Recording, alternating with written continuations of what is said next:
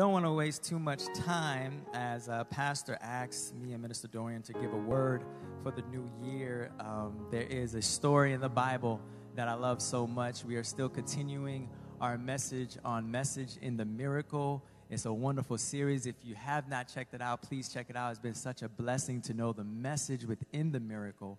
Amen. You can clap for that. Amazing, amazing message, amazing series. Buy the tape and the CD um, and watch it online. And so, uh, one of my favorite stories is in Daniel chapter 3. So, if you will, stand up for the reading of his word. I'm a little old school. I like when that happens. Somebody said amen. They know what I'm talking about. Get your Bibles open to Daniel chapter 3. I'm going to read excerpts. I'm going to read from Daniel chapter 3, verses 28 and 29. Then I'm going to skip, oh, excuse me, verses 15 through 18. Then I'm going to go to 24 and 25.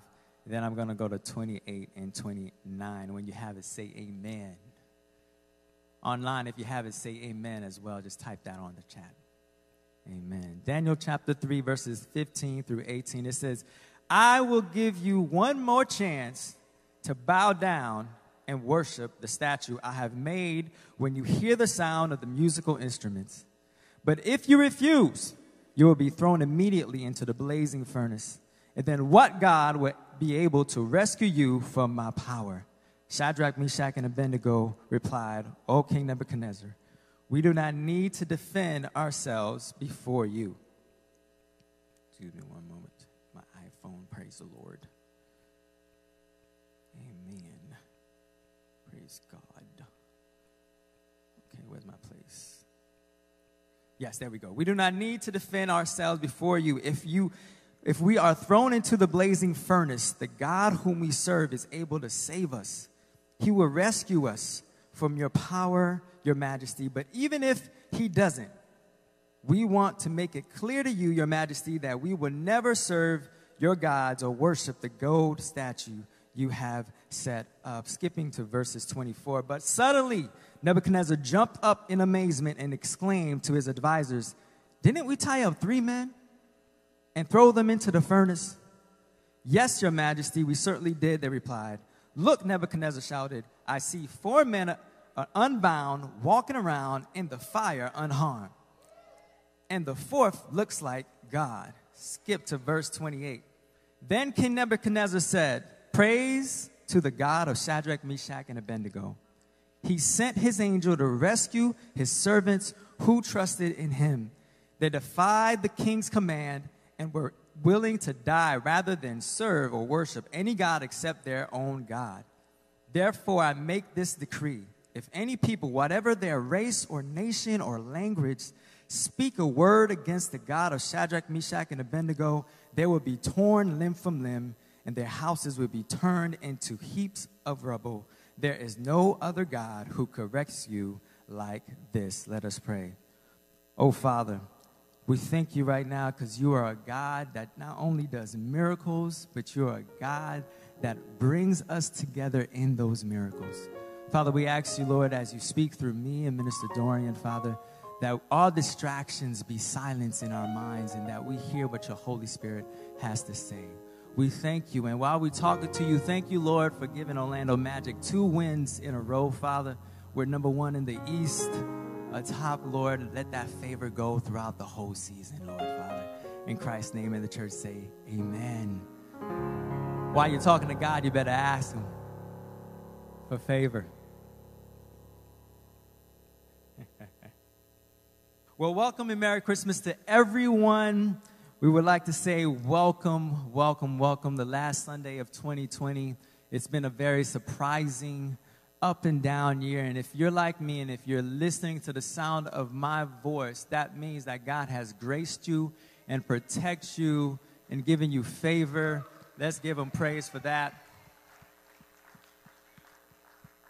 And if you're like me as well, you know very well if he did that, that means he has a purpose for your life. The series we've been going through is called Message in the Miracle. And really quickly, as I look at this passage, I really want to state just a miracle is simply this a miracle is the divine intervention where God exercises his supernatural authority over natural affairs. Again, a miracle is just a divine intervention where God exercises his supernatural authority over the natural affairs of mankind. And we see it all the time. We see in the scripture where God shows his authority over water. He walks on water. God shows his authority and commands the winds. God shows his authority in people's lives. And if you're like me, when God does a miracle and you see miracles like this happen, a question comes to your mind like, God, can you please just do that all the time? That's all the time. Why don't you just do it all the time? I know the answer, you know, a perverse generation asks for signs, but Lord, I'll worship you anyway, but just do it all the time. And of course, our favorite miracles are the financial ones, like, Father, do it again, Lord. Please just do it again. But God shows his authority over the natural things of man. And I like to say, in layman terms, a miracle is just simply this when God shows up and he shows out.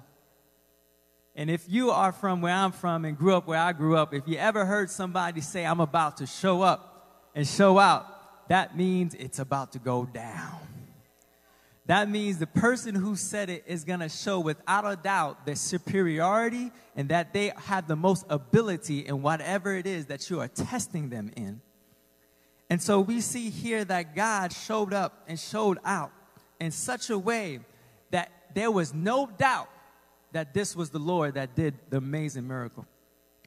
And in Daniel 24 and 25, God showed that in an example. And basically, the miracle is this God protected these three young men, three worshipers, from being burnt in the fire.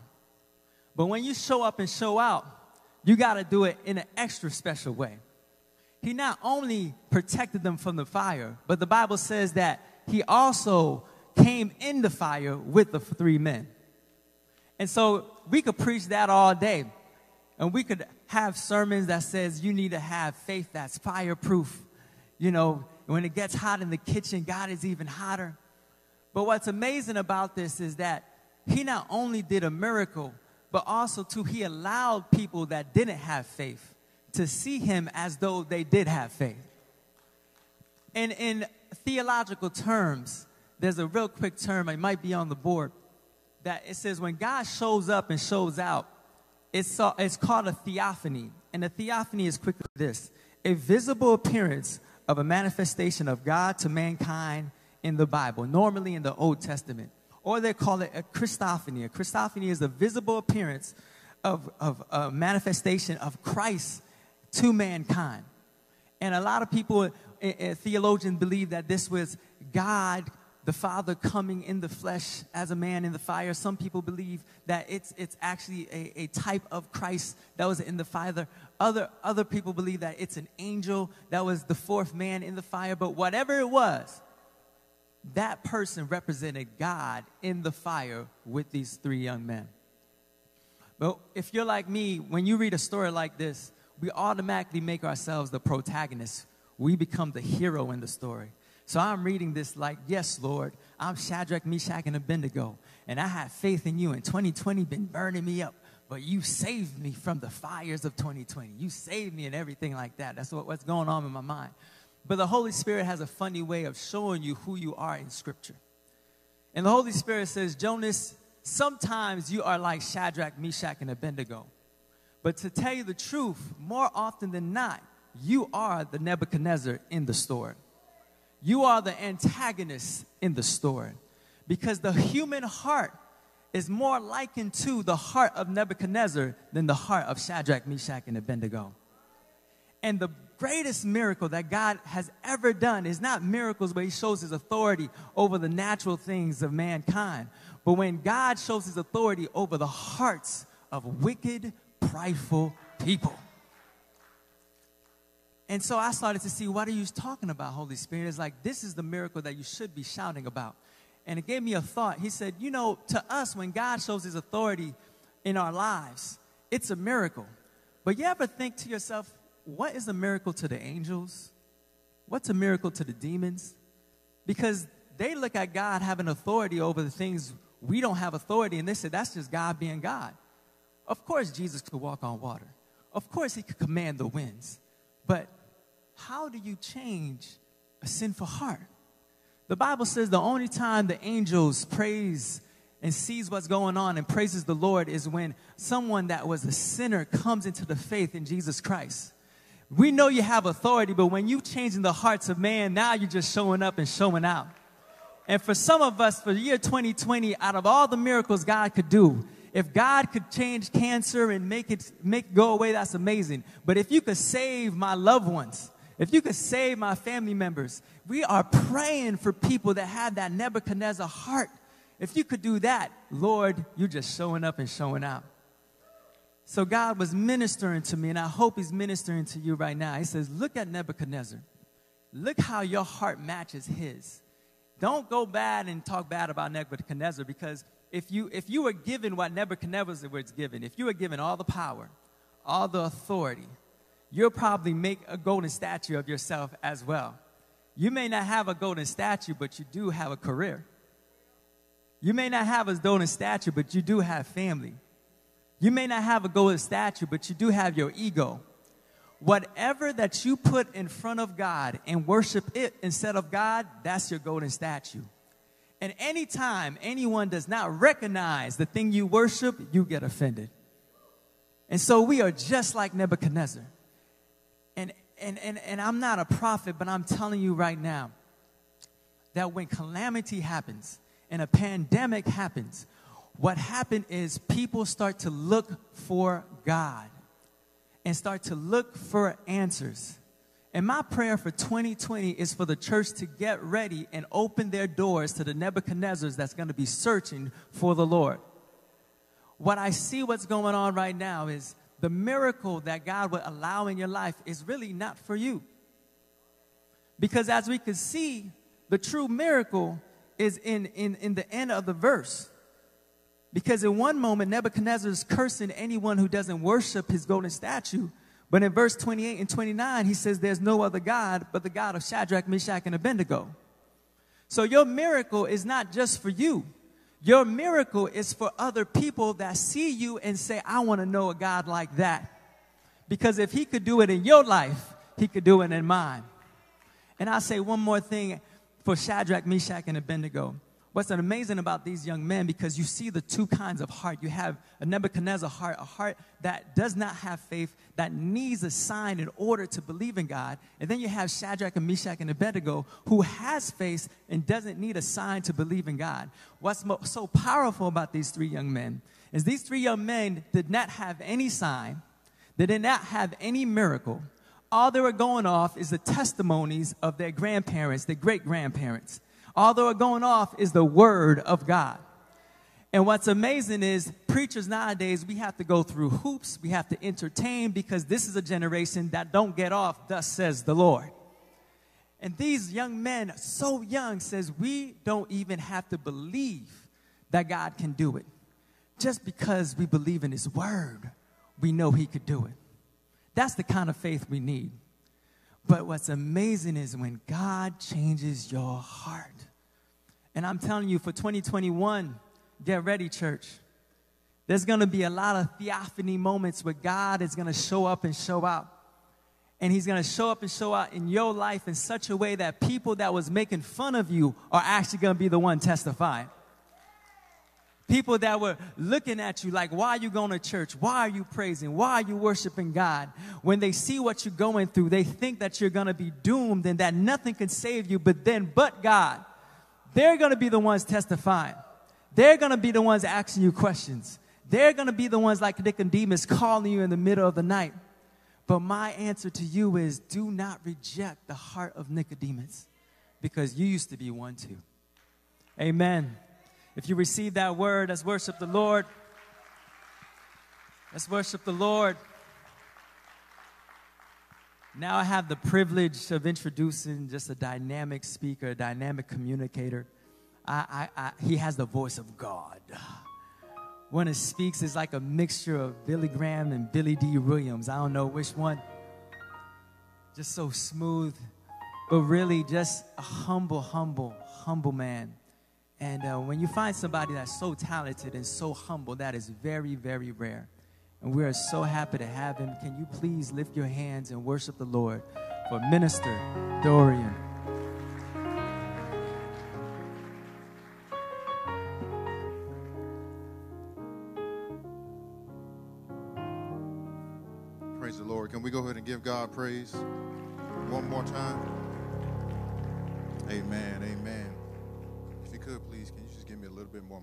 Here? I can barely hear myself and I don't want to yell. Pastor David, thank you so much for yet another opportunity just to share God's word with the family here today. And Pastor Jonas, thank you so much for that wonderful introduction. It's you set me up pretty well, and it's kind of hard to come behind you. Let's give Pastor Jonas another hand for that amazing word. As he just broke down the, the miracle uh, in this message, and I've been tasked with just sharing with you what I found out just based on uh, the message in this scripture. Same scripture, I'm just going to read it very quickly. Protocol has already been set. Uh, Daniel chapter 3, and I'm just going to read quickly verses 17 through 18. And the word says, If we are thrown into the blazing furnace, the God whom we serve is able to save us. He will rescue us from your power, your majesty. But even if he doesn't, we want to make it clear to you, your majesty, that we will never serve your gods or worship the gold statue that you have set up. I just want to talk briefly for the next 12 minutes from a subtitle of There's Levels to This. Amen. There is levels to this. Uh, the phrase there's levels to this was birthed to signify that there are necessary steps to reach a certain height or of completion or understanding. Uh, in the educational field, it is a remarkable feat to achieve a degree on the doctoral level but to celebrate the doctoral and not appreciate the bachelor's and master's work that was necessary to complete the journey is a disservice to the individual's dedication and sacrifice along the way. Though each level could argue that their importance is greater than the next, what should, what should truly be admired are the lessons gathered at each stage of learning, the ability to retain these lessons, and accurately exercising the knowledge at the appropriate time. Somebody say there's levels to this. So just let me give you a quick couple examples. So if I were to have a conversation with Happy Feet with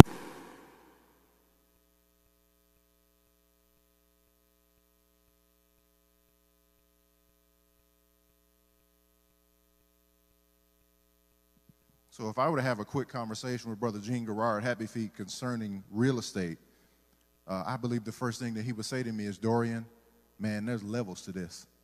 And I don't think he would be arrogant in his response. What he would simply be saying is, there's a bunch of steps, there's some things you're going to have to learn, there's some development that's going to be needed for you to reach the level that I'm at.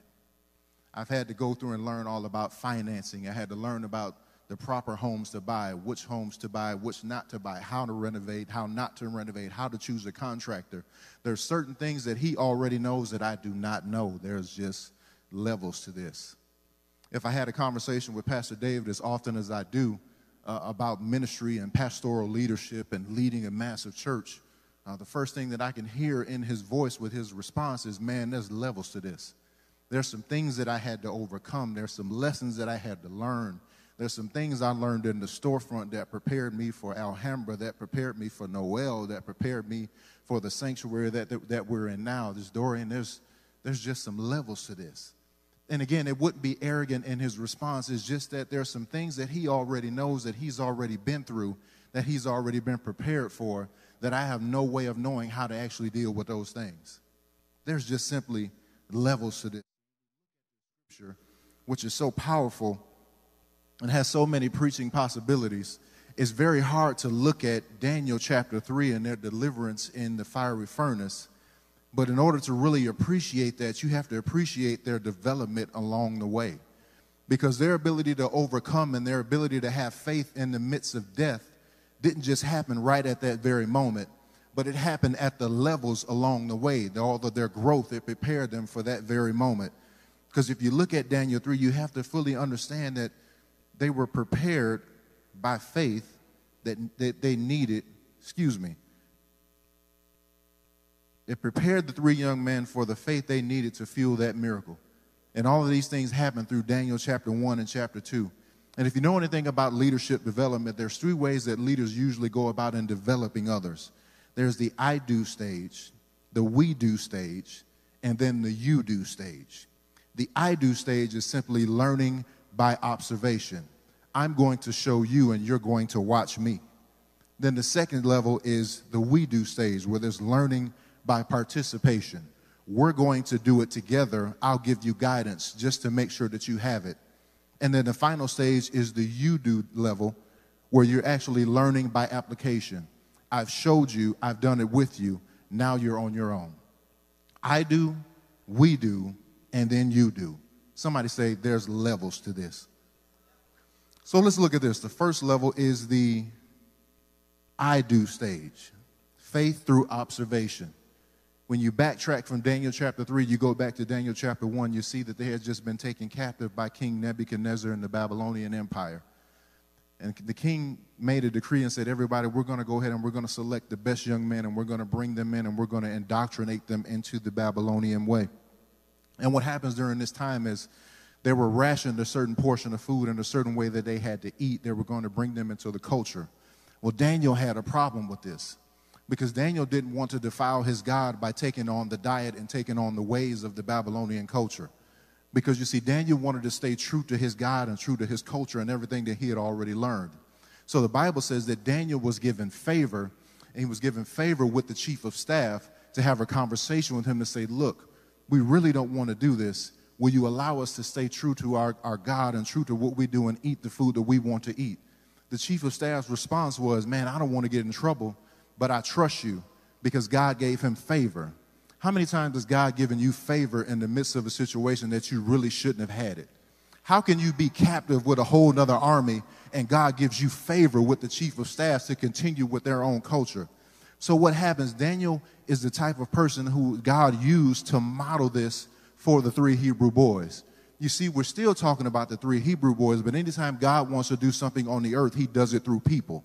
So, God chose Daniel to be the model for the three Hebrew boys on this I do level. See, that first level is I do is faith through observation.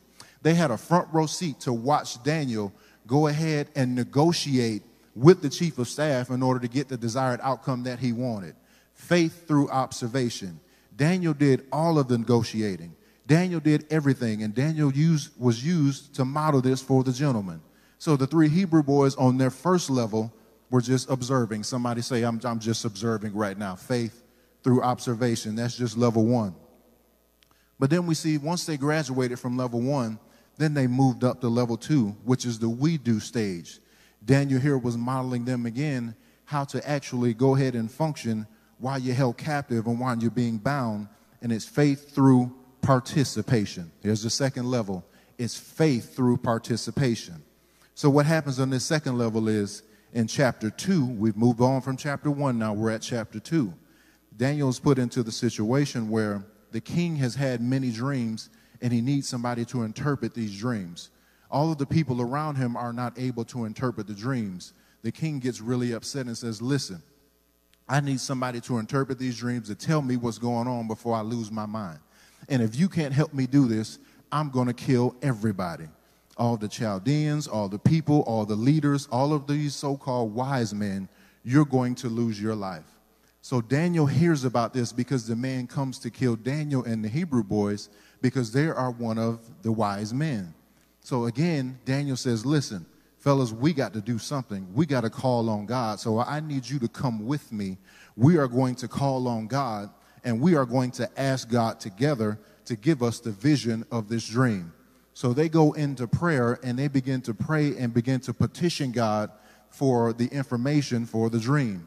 This is the faith through participation because you see in chapter one, they watched but in chapter 2, Daniel pulled them along and pulled them in with him to petition God together. So now their faith went from the I saw God do it. Now their faith is I'm going to petition God and ask God for myself to do it. And so what God does is God go ahead and gives them the dream and they give the information and they present it to King Nebuchadnezzar. King Nebuchadnezzar is very happy, he's excited, and he says, Praise the God of Daniel Praise the God of Shadrach, Meshach, and Abednego who's given me all of this information. And then he goes about and he saves everyone's lives. And I'll come back to, to that in a moment because this is the faith through participation phase. And this is the question that I want to ask you. If you're a leader and you're cultivating somebody else, are you, are you, are you, are you cultivating your own faith or are you borrowing someone else's? Like, what are you doing on this phase? On this phase, if it's faith through observation, are you learning on your own? Where are you at right now in your walk with God? Are you still in chapter one, or have you graduated to chapter two? Are you still waiting on the God that Mama used to pray to, or are you going to God for yourself? Are you still waiting on the God that the pastor talks about every day, or are you getting down on your knees on yourself and building your own relationship with God? This is faith through participation, participating on my own. And this third level here is faith through application. Now we get to the popular part of the scripture that everybody knows about, that Pastor Jonas so eloquently just talked about, where they get to the point where they're facing death with the fiery furnace.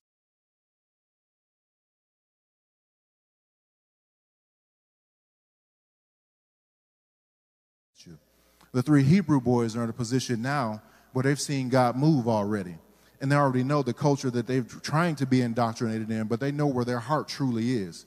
So every time they hear the music, they will not bow down because we're not going to bow down to this false God. We're going to continue to worship the God that we already know. We're going to continue to worship God that has already been a deliverer. We're going to continue to worship the God that has already been a healer. We're not going to bow down to this golden image that you set up, this false God. We're going to worship the God that we truly know. And what happens is the music plays, everybody bows down, but the other wise men who are already part of the Babylonian culture see that the three Hebrew boys decided not to bow down and bring themselves over to that culture. So what do they do? They run and tell the king about what's going on. And this is just a side note of something that I want you to see and something I want you to remember. Watch out for the people who only speak when you fail. Because watch this, if you go back to chapter 2, these are the same people who Daniel and the Hebrew boys just saved their lives because they interpreted the dream. So rather than celebrate them and give them props for what they've done, the minute they see them do something that is perceived to be wrong, they run and tell the king. Watch out for the folks who are loud when you lose, but quiet when you win. Isn't it amazing how after they saved their lives, the first thing they wanted to do was run and tell the king what they wouldn't do because they knew he was crazy? and they knew what the king would do to them anyway because they wanted to lift themselves up because Daniel and the Hebrew boys, because of the favor that was on their lives, they made them look bad and look stupid because they could interpret the dream. Watch out for the folks who are loud when you lose, but quiet when you win. Watch out for the folks when you get the promotion, they don't even like your status, but you my friend. Watch out for the folks when you get elevated and get to the place where you need to be in God and the place where you need to be in your career they have nothing for you. But the minute you mess up, boy, they got a post about it, a subliminal post. They want to tell everybody, TikToking and everything. Watch out for the folks that are loud when you lose, but quiet when you win. I'm just talking about faith through application. So what happens? They go ahead and have this conversation. King Nebuchadnezzar pulls them to the side and say, "Hey, listen, man, I gave the decree. If you don't do it, I'm going to throw you into the furnace you're going to die. This is what's going to happen. And what kind of God will save you from my wrath? That was his mistake. Because not only did he put it to, he, he put their God to the test, but he put them to the test. And their response was if we are thrown in the blazing furnace, the God whom we serve is able to save us, and he will rescue us from your power. They were operating in faith. They had seen somebody operate in faith. They had participated in faith and now they were applying the faith that they had already been a part of. And watch this. This is another side note. God doesn't show up until when their faith is locked in and the king's faith is locked in. So, what faith was that you're talking about? Well, their faith was that God would deliver them. The king's faith was what God would deliver you. And I believe those two locked together made God come down and show up and show out in the way he did and save them in the midst of the fiery furnace. So, this is what you have to do. Your faith has been put to another level in 2020. And I'm not a prophet, and I'm not going to sit here and give you a word for 2021. But I believe if you opened your eyes on January 1st and you made it from January 1st to March, that was a level. If you made it from March to June, that was another level. If you made it from June to September, that was another level. And if you made it from September to now, that is another level. So go ahead and look at 2020 and talk about all the negative that happened. But if you made it from there to here, you just been elevated to another level. And I come to preach to you and tell you this morning, you ought to celebrate God for just making it to another level. Your faith was at a different place in January, but it's heightened in December. You didn't believe God the way you do now, the way you did then. Your faith has been elevated to a whole nother part just because God gave you somebody to model. Here's the message in this miracle, and here's the central idea the one thing that I want you to take away is to maximize our development and ensure we are properly equipped for life's purpose. God will sometimes provide layers of training opportunities, and this will be for our benefit, but it'll be for His glory. The Hebrew boys were saved, they didn't have to die in the fiery furnace. That was their benefit, but God got the glory. The Hebrew boys didn't have to leave this earth in a way that they didn't want to. That was for their benefit, but it was for God's glory. The way God is developing you now is for your benefit, but it will be for His glory.